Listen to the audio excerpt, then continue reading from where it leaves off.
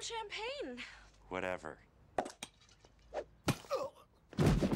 The bottle impact led to a case of walking amnesia, George was last seen hitchhiking into the desert to find himself.